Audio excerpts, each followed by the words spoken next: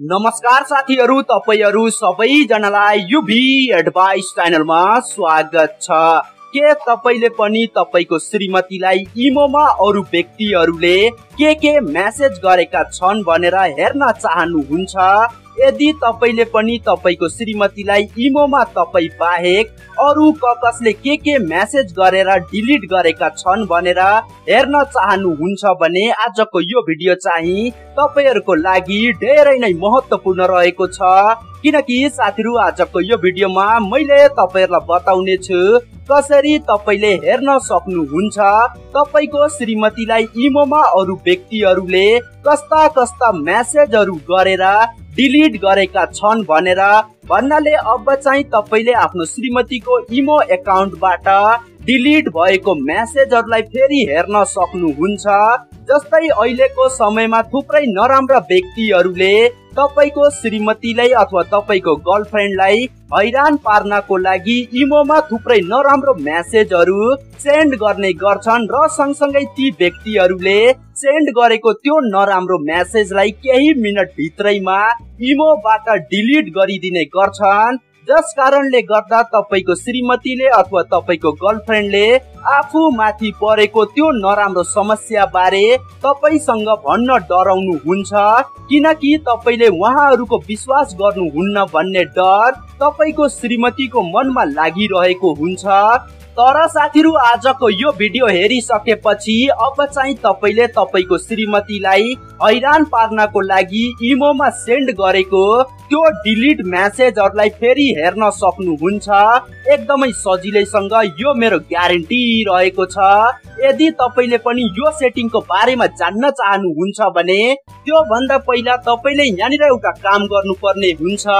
यो भिडियोको तलपट्टि रहेको यो लाइकको बटनमा एकचोटि टच गर्नुहोस् र त्यसपछि चाहिँ तपाईँहरूले यहाँनिर देख्न सक्नुहुन्छ एउटा रातो सब्सक्राइब बटन रहेको छ। यो सब्सक्राइब बटनमा एकचोटि टच गर्नुहोस् र सँगसँगै आएको यो घन्टीको आइकनमा पनि एकचोटि टच गर्नुहोस्। र त्यसपछि तपाईँले यता तलपट्टि स्क्रोल गर्नु होला र यहाँनिर तपाईँहरू सबैजनाले लेख्नु पर्ने हुन्छ एनआइसिई नाइस बिआइडिइओ भिडियो र त्यसपछि यो एरोमा एकचोटि टच गर्नुहोस्।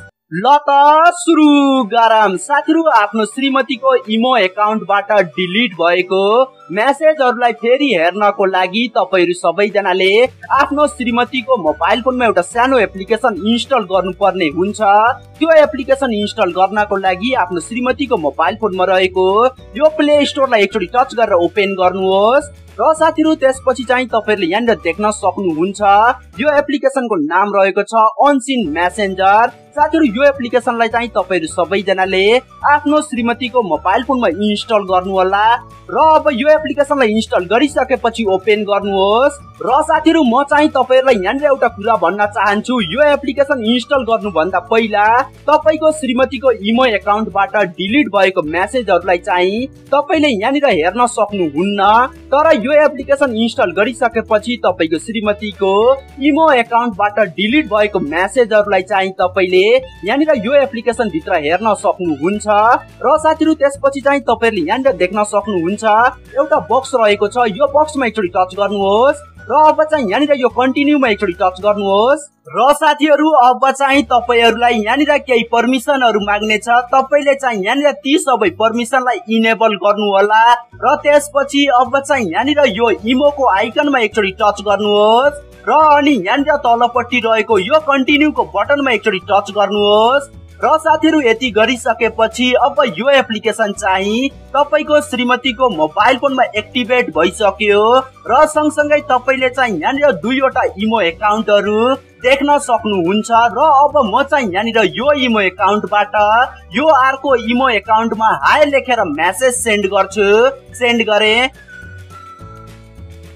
र त्यसपछि अब चाहिँ तपाईँहरूले यहाँनिर देख्न सक्नुहुन्छ मैले भर्खरै सेन्ड गरेको यो हाई मेसेज चाहिँ यहाँनिर यो अर्को इमो एकाउन्टमा आइसकेको छ। र साथीहरू अब म चाहिँ यहाँनिर यो दुईवटै इमो एकाउन्टबाट यो हाई मेसेजलाई डिलिट गर्छु डिलिट गरेँ। र त्यसपछि अब चाहिँ तपाईँहरूले यहाँनिर देख्न सक्नुहुन्छ यो दुईवटा इमो एकाउन्टबाट यो हाई मेसेज डिलिट भइसकेको छ। र साथीहरू यदि तपाईँले यो अवस्थामा डिलिट भएको यी मेसेजहरूलाई हेर्न चाहनुहुन्छ भने त्यो अवस्थामा चाहिँ तपाईँले भर्खरै जुन अनसिन मेसेन्जर एपलाई इन्स्टल गर्नु भएको छ त्यो अनसिन मेसेन्जर एपलाई यहाँनिर ओपन गर्नुहोस्। र त्यसपछि अब चाहिँ तपाईँहरूले यहाँनिर देख्न सक्नुहुन्छ भर्खरै मेरो इमो एकाउन्टबाट डिलिट भएको त्यो इ मेसेज चाहिँ यहाँनिर देखाइरहेको छ। त्यस्तै गरेर तपाईँको अथवा तपाईँको श्रीमतीको इमो एकाउन्टबाट जुन मेसेज डिलिट भएको छ त्यो मेसेज पनि यहाँनिर देखाइने छ। साथीहरू यसरी चाहिँ तपाईँले एकदमै सजिलैसँग आफ्नो इमो एकाउन्टबाट डिलिट भएको मेसेजहरूलाई फेरि हेर्न सक्नुहुन्छ। यदि साथीहरू तपाईँहरूलाई आजको यो भिडियो राम्रो लागेको छ भने आजको यो भिडियोलाई लाइक गर्नुहोस्। हस्त साथीहरू फेरि अर्को भिडियोमा भेटौँला।